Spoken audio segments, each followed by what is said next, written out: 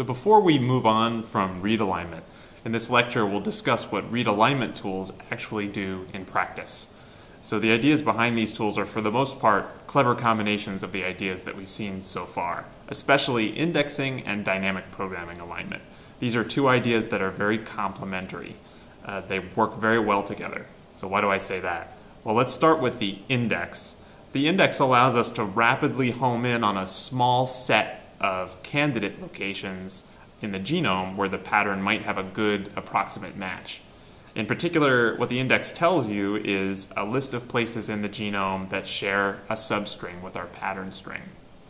So the index really acts almost like a filter.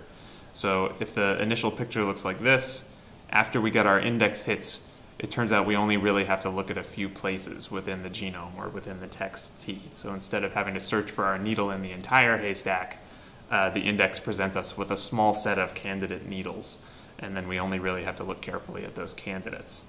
So what if we didn't have an index though? Uh, if we didn't have anything acting as a filter, what if we just did dynamic programming alignment? Use that to solve the entire read alignment problem. We can do this, of course. Um, we saw how to use dynamic programming to find approximate occurrences of a pattern within a text. And uh, let's say that here our text is the genome and the, and the pattern is the read. And to do this, we would fill in a, a, dynamic programming matrix that looks like this, where the rows are labeled with characters from the read and the columns are labeled with characters from the genome. Now, how big is this matrix? Is it a small matrix? Is it a large matrix? It's really, really big. It's a very, very big matrix. It's big because, uh, first of all, because uh, the read is long, right? The read is something like 100, 200, 300 or so bases long, and so you have to have at least that many rows. But then what's particularly bad is that the genome labeling the columns of this matrix is very, very long. So for example, the human reference genome is about 3 billion bases long. So that's why in this picture I'm showing the, the matrix sort of disappearing off into the distance off to the right. You have to imagine that this matrix is very, very, very, very wide. Has many columns. So if we had to fill in a matrix like this for every read in our data set, uh, it would take us years, definitely years, to analyze a data set that a DNA sequencer can produce in about a week or so.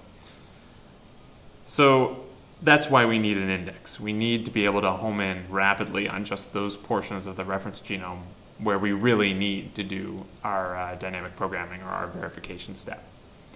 So now, why do we need dynamic programming?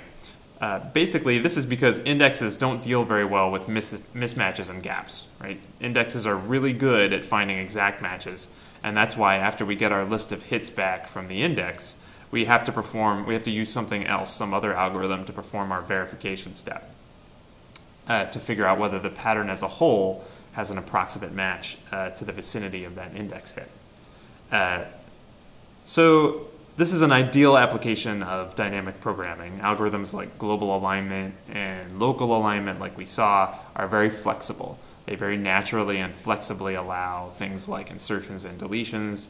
They even allow you to specify different penalties for different substitutions.